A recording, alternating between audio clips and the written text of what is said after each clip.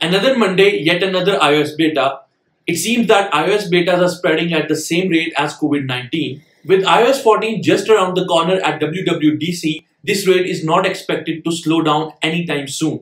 We will keep this video short and tell you about the status of our reported bug and a couple of new changes in this beta. So Let Me Tech.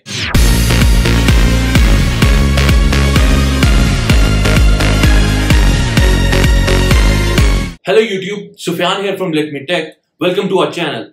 Before we start, I would like to tell you that we will be dropping some Android videos soon for which we received a lot of requests.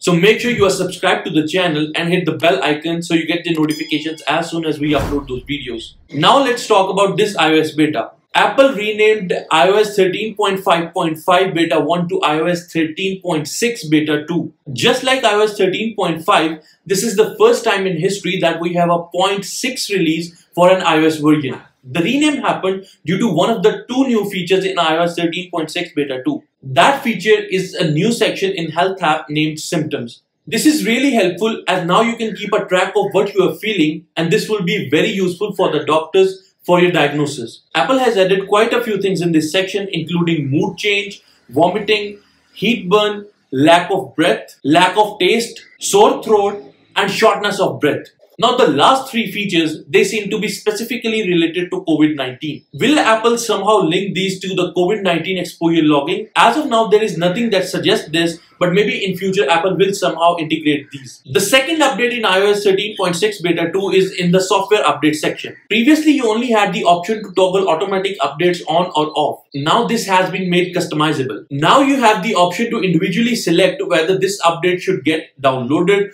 or whether the next update should be installed as well. These toggles are now separated and you can see them on the screen here as well. This gives users much more control of when the OS should be updated. One of the known issues regarding home screen web apps has been resolved by Apple along with other minor bug fixes. However, our reported issue is still not resolved in this beta.